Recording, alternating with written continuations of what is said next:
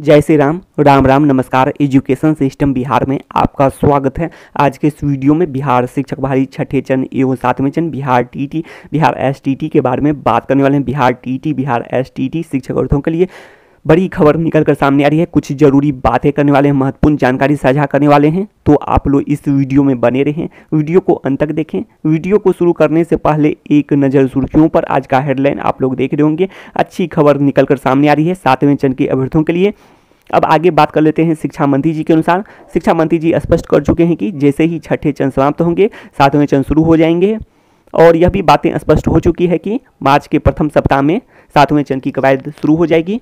और ऐसे में यह भी बात करें तो शिक्षा मंत्री जी निर्देश भी दिए हैं, कई बैठक भी हुए हैं आयोजित, और निर्देश दिए हैं कि हर हाल में सौ समय अर्थात निर्धारित तिथि पर ही नियुक्ति पत्र बांटे जाएँ, और नियुक्ति पत्र वितरण का तिथि आप लोग को पता भी होना चाहिए। 25 फरवरी है, क्लास वन से एट के लिए बात करें तो और एक साथ नियुक्ति पत्र बांटे जाएँगे प्रखंड मुख्यालय और जिला मुख्यालय से।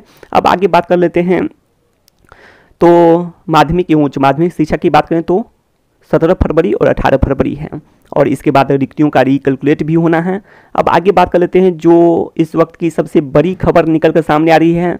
और यह सभी अभ्यर्थियों के लिए बात करें सातवें चरण का जो भी इंतज़ार कर रहे हैं, उन लोगों के लिए ज़रूरी भी है कि सौ समय अर्थात जो तिथि निर्धारित की गई है और इस पर काउंसलिंग की प्रक्रिया पूरी हो और आप लोग को पता भी होना चाहिए। सत्रह जनवरी से बात करें तो अट्ठाईस जनवरी के बीच छठे चरण की काउंसलिंग की प्रक्रिया भी होनी है। तो ऐसे में क्लास वन से एट की बात कर रहे हैं। तो ऐसे में यह खबर निकल कर सामने आई कि तय समय, अर्थात तय शेड्यूल के अनुसार ही सत्रह जनवरी को छठे चरण की शिक्षक बहाली की तृतीय चक्र की काउंसलिंग शुरू हो चुकी है। तो इस वक्त की सबसे बड़ी खबर कही जा सकती है। कहीं कहीं शुरू हो चुकी है थर्ड राउंड काउंसलिंग और आगे बात कर लेते हैं। और कहीं कहीं बात करें तो 22 जनवरी और 24 जनवरी 25 जनवरी, यह भी तिथि निकल कर सामने आई है। तो आप लोग अपने अपने ज़िले के अनुसार देख सकते हैं। तो यह अच्छी खबर कही जा सकती है। यदि जल्द से जल्द काउंसलिंग की प्रक्रिया पूरी होती है और ससमय यदि काउंसलिंग की प्रक्रिया पूरी हो जाती है तो इसके बाद नियुक्ति पत्र का वितरण हो जाता है और सातवें चरण शुरू हो सकते हैं। तो सभी अभ्यर्थियों के लिए अच्छी खबर कही जा सकती है। जो भी छठे चरण के बाद सातवें चरण का इंतज़ार कर रहे हैं। अब आगे बात कर लेते हैं। प्रोटोकॉल का भी पालन किया जाएगा और प्रोटोकॉल का पालन करते हुए बात करें तो काउंसलिंग की प्रक्रिया पूरी की जाएगी। अब आगे बात कर लेते हैं। और आप लोग ये भी देख रहे होंगे। और इसमें बात करें तो बिहार टीटी के भी अभ्यर्थी शामिल होंगे सातवें चरण में। और क्लास बात करें वन से एट की भी होनी है। जो भी रिक्ति की बात करें, जो छठे चरण में बात करें तो अड़तीस हज़ार चयनित हुए हैं और नब्बे हज़ार पद थे, नब्बे हज़ार प्लस में। तो नब्बे हज़ार से अधिक पद थे और अड़तीस हज़ार और कुछ और चयनित होंगे। लगभग बारह हज़ार का और भी बात करें तो प्रक्रिया होनी बाकी है। तो कुल मिलाकर बात करें तो, आप लोग समझ सकते हैं कि पैंतालीस हज़ार के आसपास मान के चलें या फिर इससे अधिक मान के चलें फिर भी चालीस हज़ार से अधिक पद बात करें तो सातवें चरण में जुड़ने वाले हैं। बैकलॉग के पद अगले चरण में जुड़ जाते हैं। तो आप लोग को सातवें चरण में देखने को मिलेगा अवसर।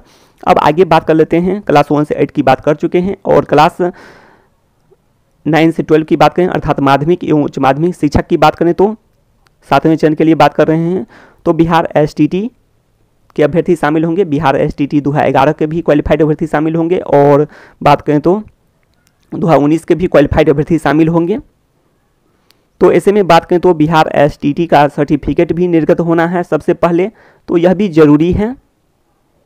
और उसके बाद बात करें तो आगे आवेदन की प्रक्रिया शुरू हो जाएगी मार्च में।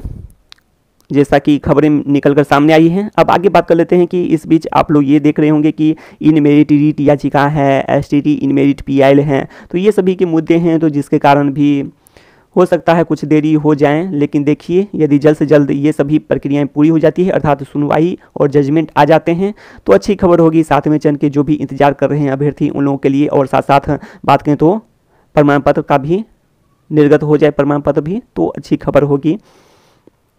अब कुछ अन्य खबर पर भी बात कर लेते हैं। तो यह भी खबर निकल कर सामने आई है कि छियासठ हज़ार से अधिक शिक्षकों के वेतन के लिए नौ अरब से भी अधिक रुपये जारी हुए हैं। तो अच्छी खबर कही जा सकती है, जो भी शिक्षक हैं, अर्थात कार्यरत शिक्षक हैं, उन सभी शिक्षकों के लिए भी अच्छी खबर निकल कर सामने आई है। और ये उस शिक्षक की बात कर रहे हैं, जो कि शिक्षा विभाग के नगर पंचायत, प्रखंड और पंचायत शिक्षक के वेतन की बात हुई है। और वेतन संबंधित बात करें तो छियासठ हज़ार से भी अधिक शिक्षकों के वेतन के लिए नौ अरब से भी अधिक रुपये की राशि जारी हो चुकी है। अब आगे बात कर लेते हैं, कुछ अन्य खबर पर भी बात कर लेते हैं और यह भी बातें कर चुके हैं कि आप लोग को पता भी होना चाहिए। इस वीडियो में ही बात की है कि 22 जनवरी को भी कहीं कहीं काउंसलिंग की प्रक्रिया होनी है और 24 जनवरी 25 जनवरी तो ये सभी प्रक्रिया, यदि काउंसलिंग की प्रक्रिया जो 17 जनवरी से 28 जनवरी के बीच है तो ये पूरी हो जाती है। इसके बाद रिक्तियों का बात करें तो रिकलकुलेट भी होना है और इधर नियुक्ति पत्र का वितरण भी होना है। तो ये सब प्रक्रिया भी पूरी होनी है। तो कुछ समय लगेंगे, लेकिन मार्च के प्रथम सप्ताह में उम्मीद की जा सकती है। और इधर बात करें कि जो नए एवं उत्क्रमित माध्यमिक एवं उच्च माध्यमिक विद्यालय के जो पद हैं, नवस्थापित, और इसमें आप लोग को यह भी सुनने को मिला होगा, आप लोग देखे भी होंगे। इसमें बात करें तो पाठ्यक्रम के अनुसार शिक्षक की बातें की गई है।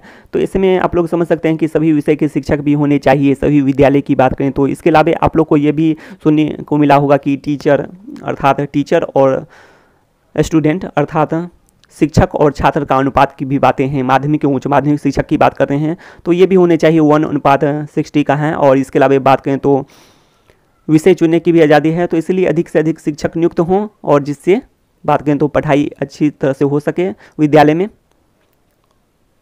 तो ये सभी हैं तो ऐसे में बात करें तो पाँच हज़ार से भी अधिक पद ऐसे हैं जो कि नवस्थापित और उत्क्रमित उच्च माध्यमिक विद्यालय के पद हैं और कहीं कहीं आप लोग को ये भी देखने को मिल जाती है कि चौंसठ सौ कुछ तो इस पर भी बात करने वाले हैं, चौंसठ सौ इक्कीस पद।